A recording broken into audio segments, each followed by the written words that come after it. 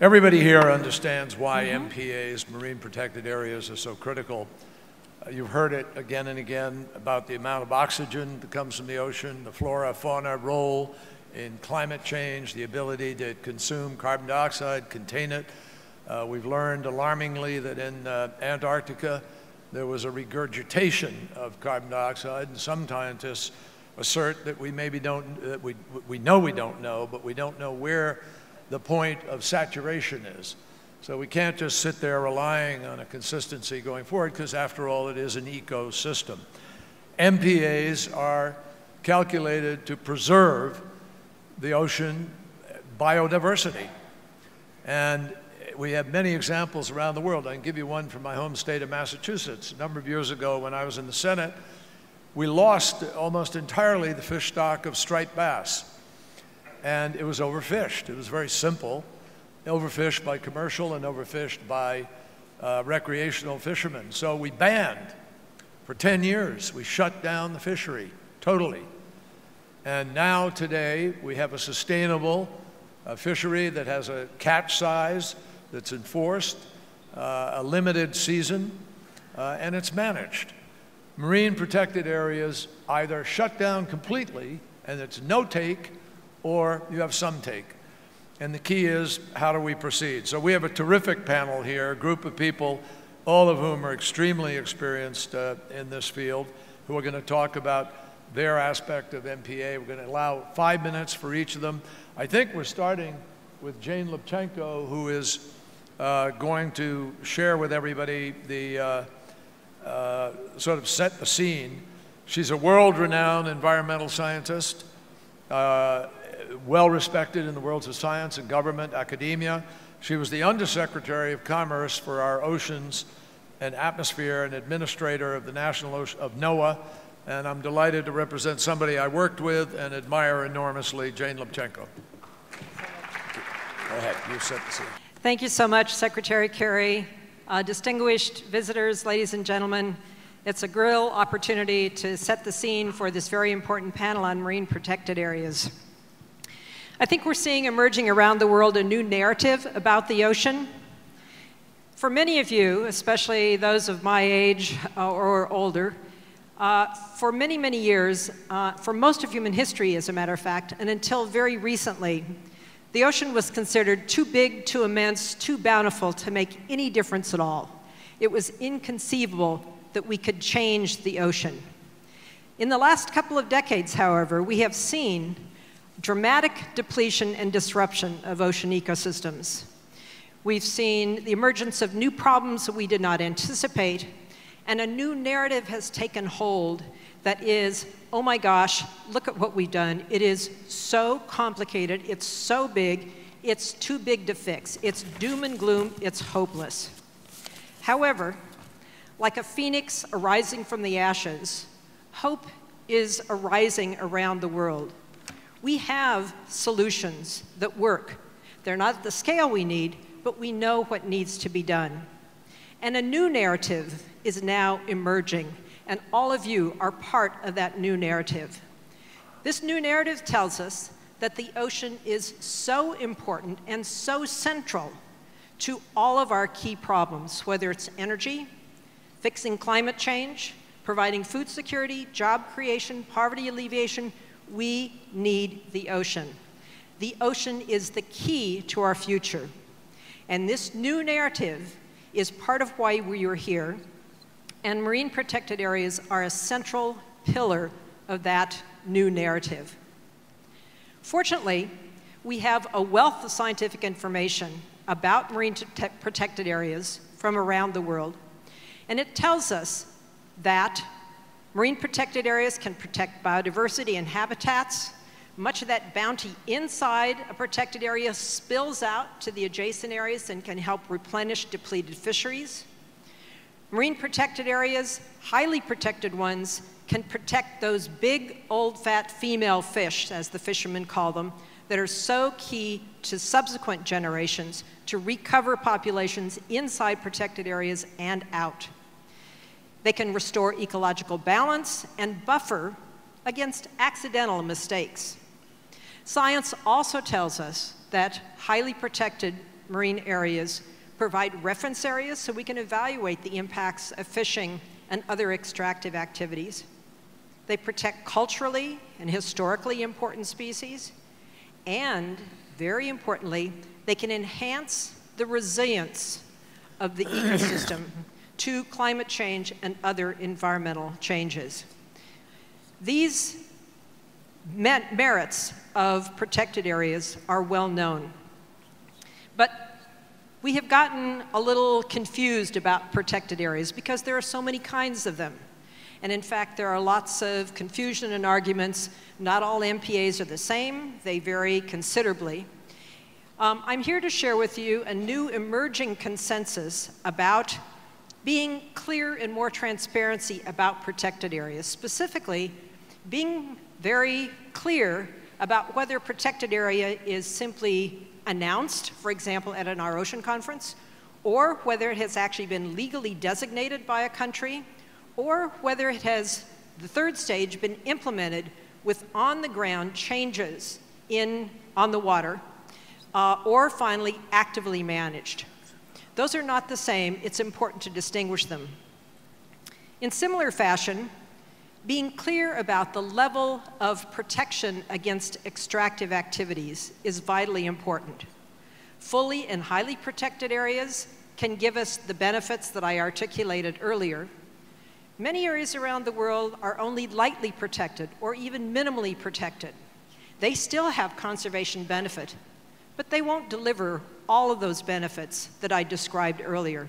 And so being clear about what the level of protection is and what the stage of implementation is will go a long way to helping us agree on what we have and what we need. The legacy of our ocean conference has been quite significant. When Secretary Kerry initiated this, he emphasized accountability. My students were skeptical, as students are, and said, well, can we look at the information? Have all the promises that have been made actually been delivered? And much to our surprise and delight, looking at all of the MPA commitments that had been made in the first four Our Ocean conferences, we learned that about half of all of those commitments have now actually been uh, realized. The other half are in progress. So that's fantastic news, and congratulations to everyone that has been responsible for that. Moreover, we've seen, as a result of commitments made at our ocean conferences, 1.4% of the ocean is now protected in implemented MPAs. Not just a promise, it's been delivered. That's over 5 million square kilometers, and half of that is highly protected. If, in fact, we would implement all of the protected areas that have been promised at OOCs, 3.4%, or 12 million square kilometers would be protected. That's easy, low-hanging fruit. So I suggest to you, it's time for us to seize the day, if you will, pardon the pun, implement what has been announced, be clear and transparent about marine protected areas, and follow the MPA guide by being specific about the stage of establishment and the level of protection. Seek bolder targets uh, we need 30% of the ocean in highly protected status by 2030.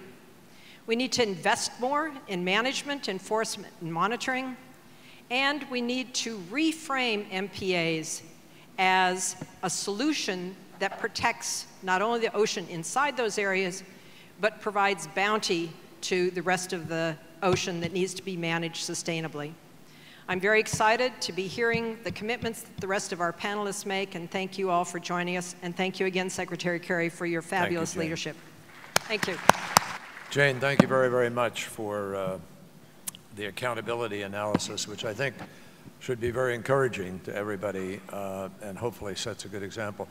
Folks, we have a long panel, uh, I mean, an important panel of a number of people who are going to make important uh, commitments here and talk about what they're doing. But um, I do need to hold everybody to five minutes, so we've got to try to stay on schedule in respect to everybody else who's coming down the line here. Therefore, let me just go quickly to, to introduce right away, if I may, uh, I hope she's here, I think she's here, the Vice President of Panama and Foreign Minister of Panama, uh, Isabel de Saint-Malo de Alvarado. And uh, welcome. We're happy to have you here. Thank you. While she's walking up, I, am going to, you have bios, there are bios out there, so I'm not going to run through everybody's full bio, just so we can keep the substance moving as much as possible. Welcome. Thank you. Thank you. Go ahead, uh, Isabel, you're on. Good afternoon, everybody. Thank you so much for the opportunity of being here and participating in this very important conference. Congratulations to the Indonesian government, to uh, John Kerry for his leadership. And Panama has been a maritime country forever. We are not an island, but we are surrounded by two oceans, the Pacific and the Atlantic. We were born to connect. Our landmass did not exist three million years ago. We actually emerged from the oceans to connect North America and South America. And ever since then, we have just been open and connected to the world. Our canal, our ports, make us there, make us connected to the rest of the world, make us responsible to the oceans and to uh, contributing to marine protected areas and to the sustainability of the world, as has been already said. Our canal has contributed since our initiation in 1914 to the reduction of 650 million tons of carbon dioxide that have, would have affected marine protected areas otherwise. Through our expanded canal, just two years ago, we can propose that in the next 10 years, we will contribute with the reduction of 160 million tons of carbon dioxide that would definitely affect marine protected areas otherwise. We, were, we announced two years ago uh, two protected areas in Panama. With these two protected areas, we increased our coverage of protected areas from 3.5% to 13.5%, thereby surpassing the Aichi objective of 10% of coverage. Now, how to ensure that these marine protected areas continue work together, are implemented, are monitored. We have approved the establishment of a high-level commission that will draw and implement a national strategy for oceans. We will, by the first semester of 2019, have this strategy in place with the roadmap in place in order to ensure that our marine protected areas do what they have to do and further uh, uh, identify possible additional protected areas.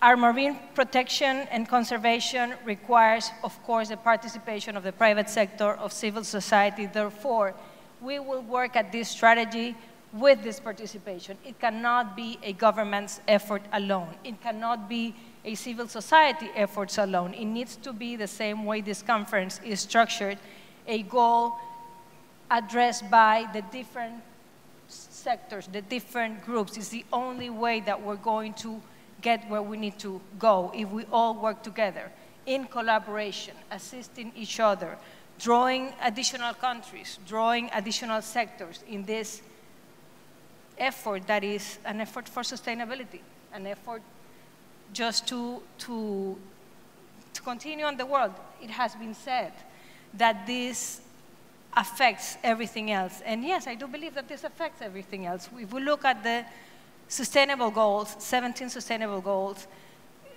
we are dealing with one of them. However, I am truly convinced that if we do not achieve this one objective, we will run short of every other sustainable development objective because everything is definitely connected and the oceans are definitely connected to everything else.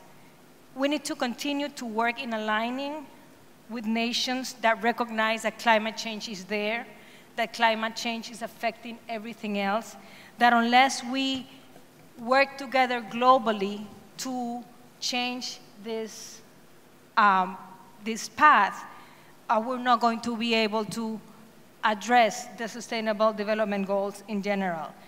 We will all be affected, no matter what we do. We will all be affected particularly island states, I would have to say. I would like to mention here the Caribbean. The Caribbean, as many other island states, are affected. We need to worry about them. That is why Panama will inaugurate in the next couple of weeks a humanitarian hub to respond on disasters. I'll just like to end by announcing our interest to host the Our Oceans Conference in the future, perhaps 2021. Uh, this is a, um, a, message of our commitment as a country that is a maritime country that is surrounded by water that understand that we need to continue to work together in order to maintain the oceans and everything that is related, all the life that is related to it. Thank you very much.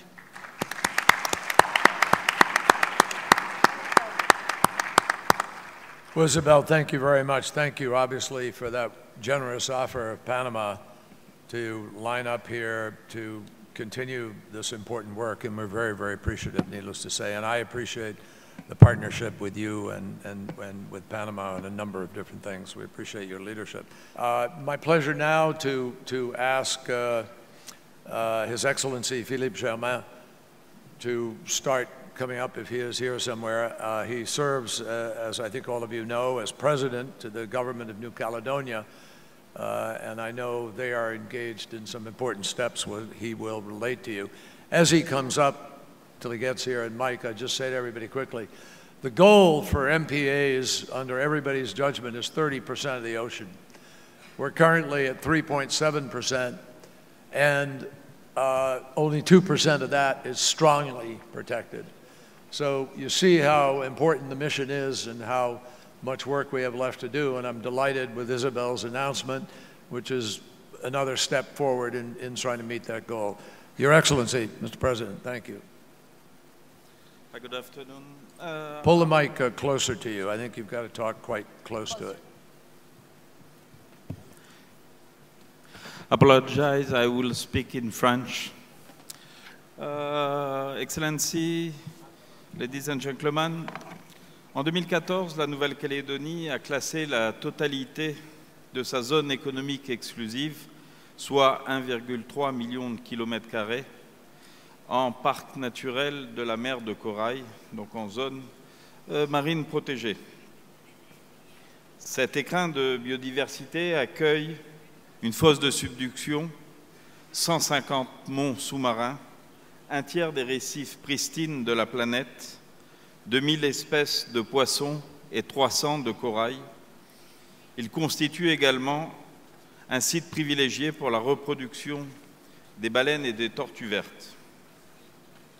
En 2018, un plan de gestion a été adopté euh, au terme de quatre ans de discussion et de concertation au sein d'un comité de gestion qui regroupe les institutions, les coutumiers, les acteurs socioprofessionnels et la société civile, auquel, depuis 2018, euh, nous avons ajouté un comité scientifique. Conformément aux engagements euh, que la Nouvelle-Calédonie a pris euh, en 2016 lors de la conférence Our Ocean, la Nouvelle-Calédonie a classé en réserve la totalité de ses récifs pristines soit 7000 km en réserve intégrale et 21 000 km de réserve naturelle renforcée, donc également interdit d'accès. Le tourisme professionnel est désormais réglementé et encadré. Il n'est plus autorisé dans les réserves naturelles et bien sûr dans les réserves intégrales. Une loi est également en cours d'examen par euh, les institutions calédoniennes, le Congrès de la Nouvelle-Calédonie, pour interdire l'importation, la fabrication, l'usage de sacs plastiques, de gobelets, assiettes, couverts et autres objets jetables en plastique, et cela pour l'année 2019. La Nouvelle-Calédonie veut faire de la préservation de la biodiversité marine un nouveau modèle de croissance durable autour de quatre piliers. Créer un hotspot de la recherche internationale, créer un pôle d'excellence pour l'innovation, notamment en faveur de l'observation, de la surveillance et de la sécurisation du parc naturel de la mer de Corail, faire de la Nouvelle-Calédonie un laboratoire de développement d'activités économiques éco-responsables, et enfin créer un centre régional de préservation et de valorisation de la biodiversité marine. C'est pourquoi aujourd'hui j'ai l'honneur euh, de vous informer que la Nouvelle-Calédonie prend de nouveaux engagements. Le premier, d'attribuer un statut de protection élevé à sa fosse de subduction, au, 105, au mont sous-marin et aux îles Walpole, Matthew et Hunter du parc naturel de la mer de Corail d'ici 2019. Les études et les discussions qui seront menées avec le comité de gestion concerneront un nouvel espace de protection compris entre 200 000 et 400 000 km. La Nouvelle-Calédonie prend également l'engagement de créer en concertation d'ici 2020 un comité régional de réflexion autour du parc naturel de la mer de Corail avec l'Australie, la Papouasie-Nouvelle-Guinée, le Vanuatu et les îles Salomon pour une gestion de la mer de Corail représentant un espace et une surface totale de 5000 km. Ce comité régional aura pour objectif, premièrement, de signer un cadre de coopération, deuxièmement, de, montrer, de monter un projet intégré transnational pour renforcer et mettre en œuvre un outil de financement pérenne pour développer et garantir la bonne gestion de la mer de Corail. Mesdames et Messieurs, la Nouvelle-Calédonie est dépositaire d'un patrimoine naturel universel d'exception. Cela nous oblige, mais ça oblige collectivement la communauté internationale ainsi que la mobilisation de tous les scientifiques, des États, des ONG, des fondations pour répondre à ce défi de comment faire de la préservation de la biodiversité un nouveau modèle de développement. Je vous remercie.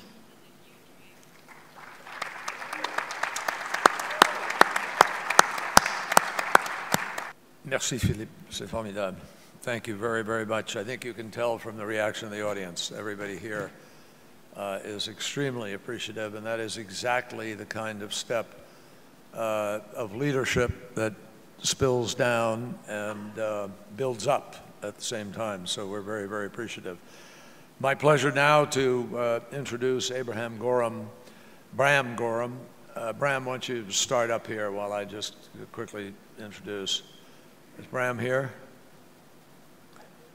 Aha. Bram is uh, uh, representing the Maya Raja Ampat Customary Council, and he's been extremely welcome, extremely active in conservation of marine waters, major efforts uh, for creation of conservation areas, and we're delighted to have you. Thank you. Yeah, thank you, uh, Mr. Uh, John Kerry. Uh, good, mo- good afternoon.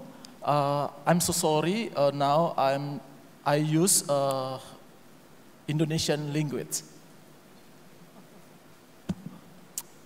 Ya, uh, kami di Raja Ampat, Papua Barat, masyarakat adat menganggap bahwa tanah adalah ibu dan laut adalah ayah. Karena kami menganggap bahwa dari tanah dan laut itu akan menyediakan kebutuhan hidup uh, kami di Raja Ampat. Sehingga mereka akan uh, mereka harus kami jaga dan kami lindungi dengan baik karena dari sana kami bisa makan. Uh, oleh sebab itu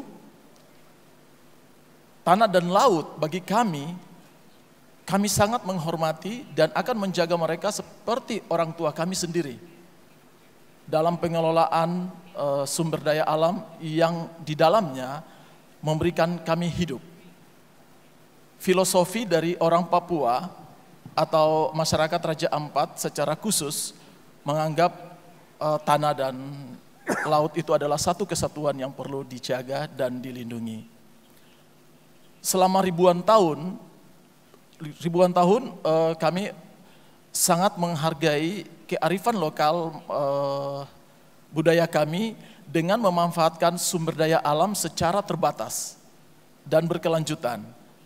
Nah, kearifan lokal masyarakat adat di Papua, lebih khusus di Raja Ampat ini, kita tahu bahwa akan mengalami pergeseran dengan eh, adanya perubahan teknologi, perubahan zaman, bagaimana kita tidak akan hidup sendiri lagi, tetapi kita akan hidup dengan komunitas masyarakat dunia yang akan menggeser kehidupan tradisional kita. Oleh sebab itu, kami perlu menjaga dan meningkatkan tradisional kita seiring dengan perubahan zaman. Berubahnya perubahan zaman akan merubah tatanan hidup kami, tetapi komitmen kita untuk menjaga dan melestarikan sumber daya alam yang kita miliki harus itu menjadi perhatian kami di Raja Ampat. Sudah banyak inisiatif dan dari kolaborasi yang dilakukan untuk melindungi dan mengelola kawasan hutan. Misalnya kita ketahui bahwa di negara kita ada undang-undang nomor 27 tahun 2007 tentang pengelolaan sumber daya eh, perikanan terutama pulau-pulau kecil dan pesisir dan ada beberapa aturan-aturan hukum di negara kita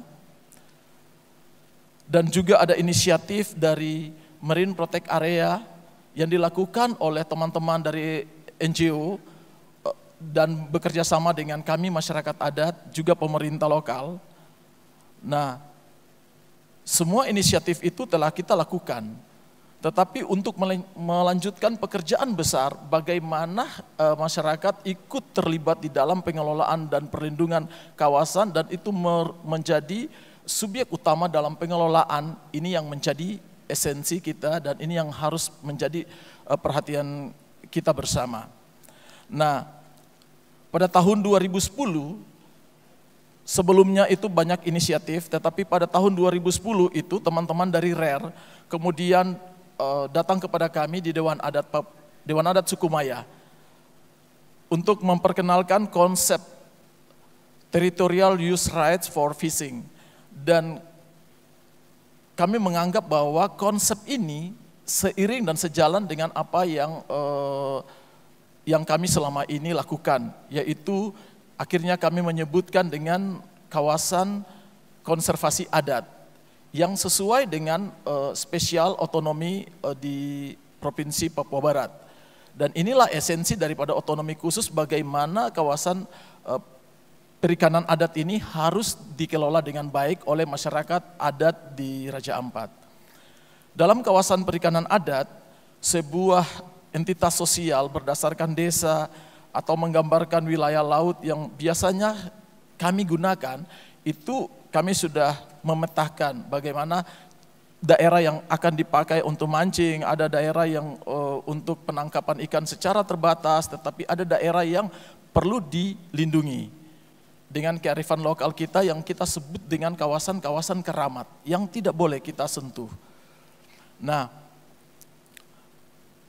kita juga harus memastikan keberlanjutan wilayah laut dan sumber daya yang terkandung di dalamnya. Masyarakat menetapkan aturan penangkapan ikan dan rencana pengelolaan dengan keluarga, dikeluarkan peraturan-peraturan kampung dan peraturan adat. Kami melihat bahwa Marine Protect Area telah berhasil mengatur kawasan laut sesuai dengan peruntukannya dan peraturan yang telah dikeluarkan. Tetapi bagaimana untuk mengatur tentang uh, siapa yang harus melakukan dan menjadi subjek utama di dalam pengelolaan kawasan perikanan berbasis adat. Nah di sinilah konsep yang diterapkan oleh teman-teman dari RARE. Ini sesuai dengan budaya dan tradisi kami di Raja Ampat. Langkah penting sekarang yang ada yang akan kita lakukan adalah bagaimana membuat konsep kawasan perikanan adat yang dipahami oleh semua komunitas di Raja Ampat untuk mendorong kepatuhan terhadap aturan penangkapan ikan dan untuk menginternalisasi konsep dan aturan ke dalam nilai-nilai hidup kami di, di Raja Ampat. Untuk itu perlu kita melakukan program adopsi perilaku yang sistematis. Dan teman-teman dari RARE memiliki cara-cara inovatif untuk melibatkan orang-orang melalui beberapa game, di antaranya bagaimana uh, game tentang kompetisi memasak, kemudian bagaimana permainan-permainan dan diskusi, uh, fokus grup diskusi untuk meningkatkan kapasitas dari masyarakat adat untuk pengelolaan perikanan berkelanjutan dan konservasi laut kepada masyarakat itu sendiri. Nah, Marine Protect Area dan kawasan perairan perikanan adat dan inisiatif konservasi lainnya telah menjaga sumber daya alam kita yang berharga dan mengurangi ancaman terhadap perairan laut dan ekosistem di Raja Ampat. Kami melihat Raja Ampat adalah milik kami, suku Maya, tetapi hari ini bukan itu hanya memberikan kehidupan kepada kami sendiri suku Maya, tetapi juga memberikan dampak bagi komunitas uh, masyarakat dunia. Ini menjadi hal yang sangat penting dan oleh sebab itu uh, dapat me untuk memastikan I bahwa to, uh, Lautan Raja Ampat masih memiliki fungsi mendukung kehidupan untuk generasi mendatang. Dan kami suku Maya mempunyai komitmen bahwa 1,4 juta hektar laut di Raja Ampat itu akan kami jaga dan kami akan uh, melindungi dengan baik dan ada 266 ribu hektar itu menjadi kawasan perairan adat yang benar-benar diperuntukkan untuk pengelolaan secara tradisional. Saya pikir itu yang bisa saya sampai uh, dapat sampaikan kepada kita di sore hari. Terima kasih.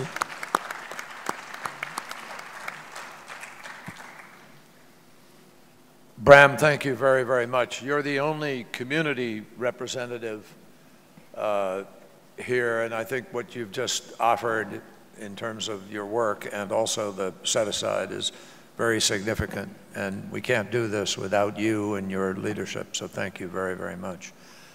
Um, I've been delighted to work with the uh, Pew Bertarelli Ocean Legacy Project which is a partnership between the Bertarelli uh, Foundation under the guidance of co-chair Donna Bertarelli and also the Pew Charitable Trust. And I'd like Donna to begin walking up here, uh, if I could ask her to. Um, we uh, have uh, had an opportunity to really spearhead this effort to create the marine protected areas, and nobody has done more on this regard than Donna and her uh, leadership of the philanthropic organization established by her family, which has done some major, major set-aside work. So Donna, thank you so much. And I'd sort of throw a question at you to frame perhaps your discussion of what you're going to do further. But you've had so much experience working with governments, with non-government, the NGOs, the participants, the stakeholders. Maybe as you describe what you're going to do, you could just share what you've learned about the, this sort of process of, of what happens with governments that change and all of a sudden you're the ones left carrying the ball. Thank you, John. Um, yes, I think the simple answer is um, hard work and um, persistence. It took us, and I wasn't alone, six years to, and, three, and to work with three consecutive governments to create the marine protected area around Easter Island, and today to continue to work with the local community and the present government to enforce it. And that is why at the Bertarelli Foundation, we spend a lot of time talking to everyone in the area where an MPA might be introduced and continue to do so once, once it's in place. Of course, the government of the day, but also the politicians from other parties, the NGOs and the local people in the community Essentially, it's all about forging a broad and deep understanding and collaboration so that everybody, everybody buys into the plan, believes in it, and strives to make it a success. That way, there's much better chance of maintaining momentum when individual politicians or government leave office. This is why it's so important to have an event like today's discussion as well. Everyone in this room share one common goal, to make the ocean and the world a better place for future generations. And we all know how important the ocean is to our own individual lives and to the health of humankind. The challenges facing our ocean are global, and it will take all of us to find solutions. I would like to remember that our ocean is a conference for action. The, the challenges um, are many. And um, John, you're asking me what it takes. I believe it also takes bravery, and there are a lot of brave people in this room. But is that enough? Do we have enough time? Since you launched Our Ocean in 2014, a much needed and essential initiative, through our combined hard work, persistence, and bravery, how much have we all contributed to increase the marine protected area around the world? Well, Jane told us 1.4% in four years. So my question is, how are we going to meet 10% by 2020 and 30% by 2030? At that speed, I don't know how we're going to make it. So, but I don't want to sound too pessimistic, because in recent years, we have seen tremendous movement by governments making the commitment to protect their waters, and I thank them for their actions. But sadly, we need to do more and act faster. That is why I am delighted to announce a new initiative to continue this wave of ocean conservation the Pew Bertarelli Ocean Ambassadors, co-chaired by our moderator here today, former US Secretary of State John Kerry, and former UK Prime Minister David Cameron, the ocean ambassadors are committed to promoting marine conservation, especially large-scale marine protected areas. They are being joined by other global leaders who have demonstrated their commitment to protecting the ocean. We are fortunate to have them here with us today in the room. The former president of the Seychelles, James Michel, the former foreign minister of Chile, Heraldo Munoz, and mother of Micronesia, Carlota Leon Guerrero of Guam. Each and every one of them will draw on their unique experiences to advance a strategy to secure and implement marine protected areas around the world that will contribute to a healthier and more resilient ocean. I am extremely grateful and honored to have them on my side and the Pew Charitable Trust for this important task. It's vital, this effort we took forward to collectively working to safeguard our ocean for future generations. And it's great that politicians who have left office want to continue their commitment to protecting the ocean and to encourage and support their political successors. And I wish to end by leaving you with this thought from a Native American proverb, a thought that has inspired me all these years and continue to do so every day. We don't inherit earth from our ancestors, we borrow it from our children. Thank you. Thank you very much. I want you to know how efficient Donna is. She wound up exactly two seconds before her five minutes uh, gets the job done. Uh, Donna, thank you. Thank you for what you and your family have been doing. It's really spectacular and very, very important. Can I ask Dr. Fanny Duvert to begin walking up? Uh, quickly introduced, uh, uh, Fanny is the coordinator of the Marine Program at UNESCO's World Heritage Center in Paris. Uh, the mission program ensures that the 49 World Heritage Sites are properly managed, sustainably managed, and she recently wrote an article in Nature as to why not investing in uh, marine world heritage is a lost opportunity for the ocean. So Fanny, thank you for your leadership. We're happy to welcome you. Thank you, Secretary Kerry.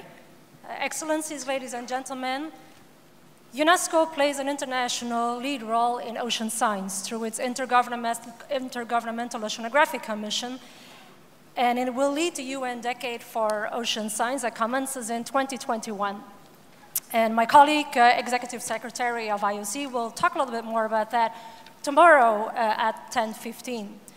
But the question really at this session, uh, Secretary Kerry, is what, what does UNESCO do for marine protected areas? We're not necessarily involved in creating new marine protected areas, yet UNESCO has a very important role in international oversight to make sure that some of those marine protected areas are well managed, are effectively managed.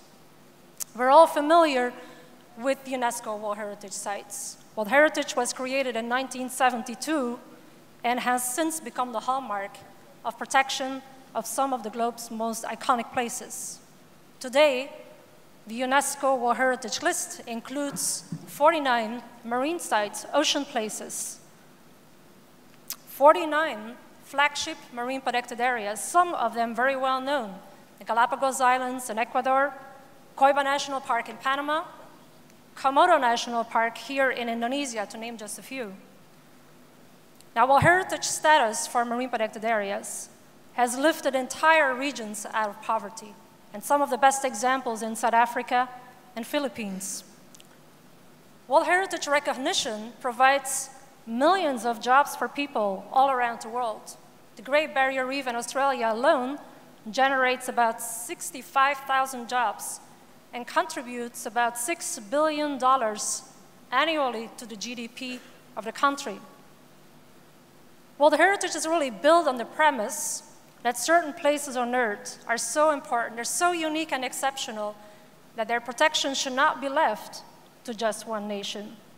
That is why, in its day to day operations, the UNESCO World Heritage Convention unites 193 nations behind a common and shared commitment to protect the world's most special, most unique places, including those ocean treasures for future generations. Yet, despite having received the highest international designation for protection, and despite being backed in their conservation by virtually every nation on this planet, still, these flagship marine protected areas suffer seriously. Still, 30% of these MPAs are illegally or unsustainably fished. Coal power plants are being built in areas that threaten to destroy some of the most unique mangrove systems that huma humanity might ever see. Coastal development still goes ahead without proper environmental considerations, which impact our oceans substantially for decades, or perhaps hundreds of years to come. Climate change. UNESCO's latest scientific assessment, which was published last June, confirmed once again that limiting global temperatures to 1.5 degrees above pre-industrial times, consistent with the Paris Climate Agreement, is absolutely critical if we do want to see some of our World Heritage listed coral reefs survive. But all of these challenges, it should not deter us, and it doesn't. UNESCO is a story of hope.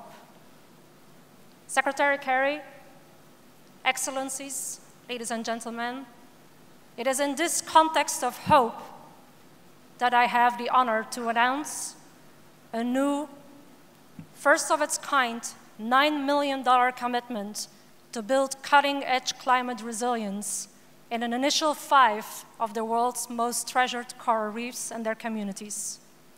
The initial five sites are the lagoons of New Caledonia, Palau, Rock Islands, Australia's Ningaloo Reefs and Great Barrier Reef, and the second largest reef system on our planet, the Belize Barrier Reef. The initiative is unique. It is led by an international consortium, private and public, including UNESCO's World Heritage Center, the Rockefeller Foundation and its pioneering 100 Resilient Cities, BHP Foundation, the Nature Conservancy's Reef Resilience Network, the Great Barrier Reef Foundation, and the environmental engineering consultancy firm, AECOM. I want to end this with a reflection. When you work every day across 49 marine protected areas, which the international community has designated as being of outstanding universal value to all of humanity, and is being backed in their conservation by virtually every nation on this planet through a legally binding commitment to protect them. One may wonder if we cannot protect these marine protected areas, really what hope is there for the rest of our oceans. Thank you.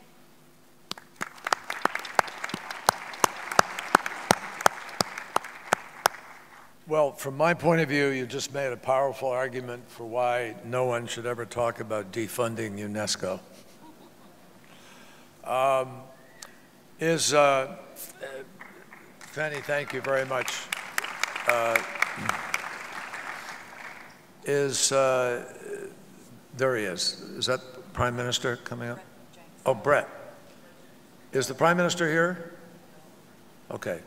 Brett, you come on up. I, uh, we were waiting for the Prime Minister. I thought he was going to be here and ready to go. But Brett uh, Jenks is the uh, President and CEO of RARE, which is a global conservation organization, uh, basically working across the board to try to bring people together to understand uh, the concept of uh, partnership in sustainability. So Brett, thank you so much for being part of this. Thank you, Secretary Kerry, and thank you, Dr. Lubchenco. Um, conservation of the ocean is ultimately about people. For over 40 years, RARE has made people part of the solution by empowering communities to adopt more sustainable behaviors. The last seven years, we've focused for the first time on coastal overfishing because we must work with the billions of people who depend on the ocean if we're going to protect it. Our experience over these last seven years leaves me with three conclusions. One, we desperately need to prioritize coastal fisheries. Coastal overfishing is the greatest near term threat to the ocean and the one that's getting the least attention. Two, there is an alternative to overfishing in these coastlines. By tapping into the self interest and sense of pride of thousands of fishers, we see fisheries recovering. And three, coastal fisheries are now an investable proposition. We can finance their recovery at scale by blending philanthropy, public funding, and private capital. So let's go through these one at a time very quickly. Why is our neglect of small scale fisheries such a big deal? First, if we consider how they deliver on global targets, you can see that if we played a game of SDG bingo, which is my new favorite game, you'd win uh, very quickly just by listing the many values of addressing coastal overfishing. So, coastal overfishing threatens marine biodiversity because it takes place in the most critical habitats. SDG 14, life below water. Coastal fisheries account for 95% of fishing jobs, and most of them are in developing countries. Number one, no poverty. Women fill 90% of post harvest jobs in small scale fisheries. That's five if you're keeping track. Uh, gender equity. Small scale fishers catch half the global fish catch, almost all of it consumed by humans. Two, no hunger. And so on and so on. Coastal fisheries should be a much bigger priority for all of us. Fortunately, there's a viable alternative. RARE's leading a partnership with more than 80 NGOs, government agencies, and private investors that we call Fish Forever.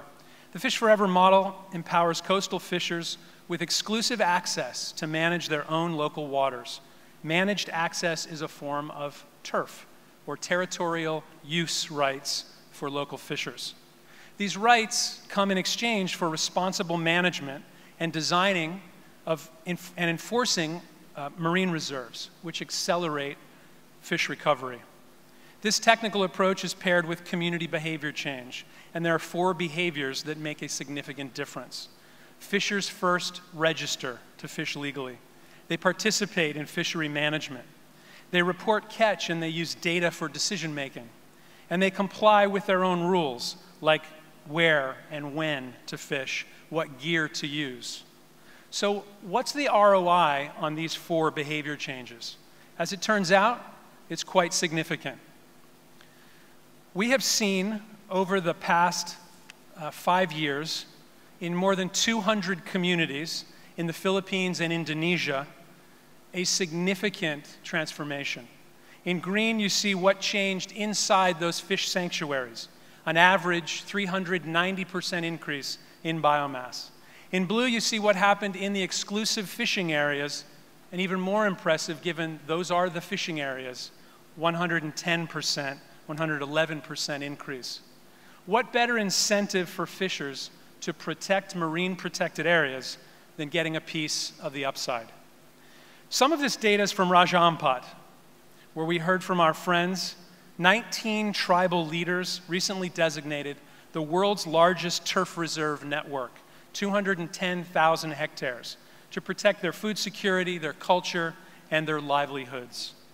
The same process is unfolding in Mozambique, the Philippines, Brazil, and now we're expanding into the Pacific Islands with support from Oceans 5, uh, Sven Lindblad, Summit Foundation, to the Mesoamerican Reef.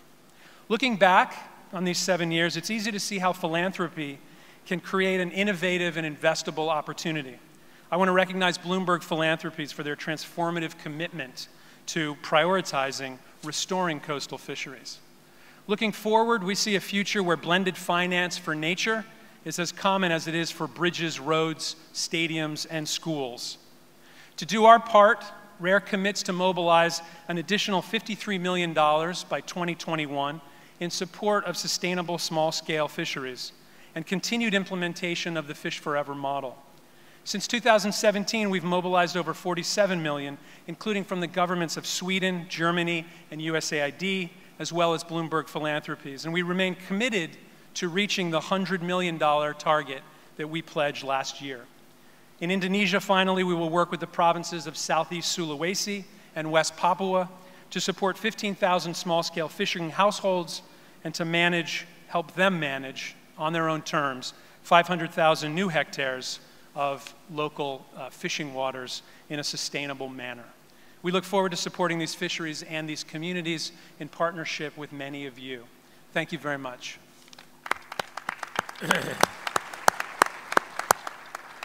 of self-start and initiative, and you've built some extraordinary partnerships with the major uh, environmental you know, groups of, of many years' reputation. And it's a great credit to you in the way that you've really tackled this, and, and it's the key to what, how we're going to be successful. Can I ask if uh, Prime Minister Turnbull is here or not? He is here. Ladies and gentlemen, welcome with me, uh, if you would, the former Prime Minister of Australia. He was Prime Minister from 2015 to 2018, leader of his party previously and during that time. Uh, and he's now uh, the current Prime Minister's appointee as the envoy of Australia to the Ocean Conference. Thank you, Mr. Prime Minister. Well, thank you very much, John, and I just want to acknowledge at the outset uh, your vision, your leadership, your passion uh, for oceans, and uh, recognise that this uh, conference uh, was initiated by you. Uh, you've brought your childhood passion for the ocean, uh, developed as a young sailor onto the world stage when you were Secretary of State, and of course before that, a senator, and you've been able, I think, to galvanise an enormous amount of global action to take better care of the largest part of our planet, which is our oceans. Now, over the past six months, Australia, which is, of course, an island nation, uh, a rather large island nation, has significantly enhanced marine protection. In July, we established five new Australian marine park management plans covering an additional 2.3 million square kilometres of Australian waters. It means that Australia now has 60 marine protected areas covering a total of 3.2 million square kilometres. It's the largest representative marine protected area network in the world, and it provides protection to over a third of Australia's jurisdictional waters, securing strong biodiversity and sustainable outcomes that will benefit future generations. It not only reaches but clearly exceeds our global commitment to protect 10% of our coastal and marine areas. Now, the government has allocated 56 million Australian dollars to implement these management arrangements, including engaging, of course, with the community, scientists, and industry. And just to the previous speaker, spoke very uh, well, eloquently, about the importance of engaging the community. Australian marine parks reflect all of the diversity of our uh, enormous nation, uh, from the tropical coral reefs of the north to the sub-Antarctic communities of the south. The system of parks includes large World Heritage areas and Ramsar sites, which, as you know, are wetlands uh, of important uh, and of international importance. Now, almost 70% of our Australian marine parks have been given a high level of protection at the same time as we ensure benefits for sustainable fishing and tourism. A sustainable ocean economy can be built only by first ensuring we have healthy ocean ecosystems. And John, every speaker has reinforced that point uh, in this session. Of all our marine parks, of course, the best known uh, is the Great Barrier Reef, uh, and Australians just call it the reef. Uh, like reefs all over the world, however, the Great Barrier Reef is under a lot of pressure, uh, particularly from warmer water temperatures, from global warming and the change in the chemistry of the ocean about which Secretary Kerry spoke so passionately and knowledgeably uh, earlier today. Now, we have made, the government has made, its largest single ever investment in reef protection, more than half a billion dollars, to support its health and resilience. The Australian and Queensland state governments, in partnership with experts from conservation, industry, Indigenous communities, and other groups, have detailed a 35 year Reef 2050 long term sustainability plan for the Great Barrier Reef. And the plan sets out the high priority activities that are needed to build the health and resilience of the reef in, face, in the face of a changing climate. Uh, the challenges facing the reef, of course, demand more than government only support, and this new partnership will broaden the opportunities for both public and private funding for reef protection. And I want to acknowledge the uh, great work that has been done by so many philanthropists and philanthropically supported foundations uh, to support the reef. Now, to raise further philanthropic investment, uh, the government has entered into an innovative partnership with the not for profit Great Barrier Reef Foundation, which we've heard just a moment ago. In addition to its wonderful natural value, the reef supports 64,000 jobs and generate 6.4 billion Australian dollars annually into the regional economy. Now, looking outwards to neighbours who also manage extensive coral reef regions, including our friends in the Pacific, so many of whom are represented uh, here today. We are, after all, a Pacific island, well, arguably also an Indian Ocean island as well, but a big island. But we know that uh, our neighbours in the Pacific face huge challenges in terms of reef management and challenges that are not, that, where they don't have the same uh, economic resources that Australia has uh, to deal with its uh, marine challenges. So that is why we need to work closely together and continue to provide strong support. Uh, so we value our international partnerships. We've allocated 2 million Australian dollars to support our co-hosting of the International Coral Reef Initiative uh, working with Indonesia and Mo Monaco. Now, the 500 million Aussie dollars commitment of new funding is entirely focused on protection of the reef, and it's addressing a range of local pressures uh, that will ensure sustainable use. Improving water quality is absolutely essential. Working with farmers to reduce fertiliser and pest pesticide runoff into the ocean and improve land use practice to prevent soil erosion. And these are a whole range of measures, many of them are obvious and practical, but nonetheless all taking time and money to deliver. Uh, removing or eradicating as far as we can the crown of thorns starfish is critically important, and we are applying the best science to do that. It does so much damage to coral reefs. And in all of this, working closely with Indigenous communities to improve the management of the protected area. We're allocating a further $100 million to continue to our science community, conti continue their work to develop corals that are more resilient in the face of warmer waters. I mean, again, harking back to what John Kerry said earlier today, uh, the ocean is getting warmer, considerably so, even if all of the great uh, objectives of Paris, the Paris Climate Treaty, were achieved and uh, uh, political resistance, if you like, to action on climate change evaporated. Nonetheless, there is a huge amount of warming in the system already, a lot of momentum already. And so we have to live with that and do everything we can to ensure reefs can be more resilient. So a lot of that work is being done by AIMS at uh, the Australian Institute of Marine Science in Townsville. Plastic waste is obviously an enormous agenda issue and it's been discussed here at this conference. We're announcing today that we're providing up to 5 million Australian dollars to the Tangaroa Blue Foundation, working in partnership with Conservation Volunteers Australia to deliver community cleanup events and education and awareness raising activities to reduce marine debris across the Great Barrier Reef region over the next five years. And in that region, the Tangaroa Blue Foundation has worked with over 1,000 partners and more than 120,000 volunteers to remove over 1,000 tonnes of marine debris from the Australian coastline. These community efforts are enormously important. Not only do they clean up beaches uh, and estuaries and waterways, but they also raise awareness so that people and communities are going to be less likely to allow debris to get into the waterways uh, in, the, in the future. And I just want to acknowledge today the extraordinary work of the great Australian conservationist and, like you, John, a sailor Ian Kiernan, who died recently, who founded uh, Clean Up Australia, a really enormous national community cleanup movement.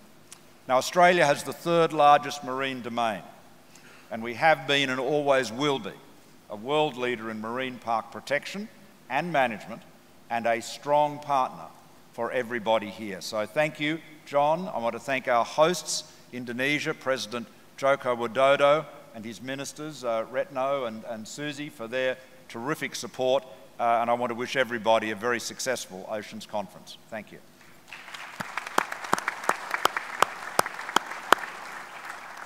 Well, Mr. Prime Minister, Malcolm, thank you very much. Uh, and, and I think your announcements, coupled with the other announcements that have been made here, have greater meaning because of what Jane Lubchenco shared with us. And I want to thank her students at Oregon State for doing the analysis they did.